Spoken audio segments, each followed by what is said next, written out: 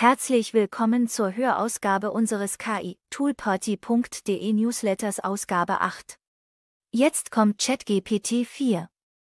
Microsoft Deutschland CTO Andreas Braunders ankündigt, dass nächste Woche die Veröffentlichung von GPT 4, einer neuen Version des bekannten KI-Modells GPT, generative Prätraine Transformer, bevorsteht.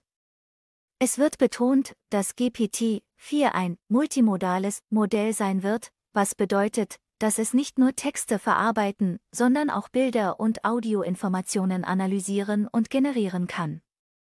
GPT-4 enthält Verbesserungen sowie Anwendungen in Bereichen wie Kunst, Musik, Film sowie einer erweiterten Ethikkomponente. Einschätzung des Gründers von A16Z und Mitgründer des Unternehmens Netscape Communications zum Thema künstliche Intelligenz.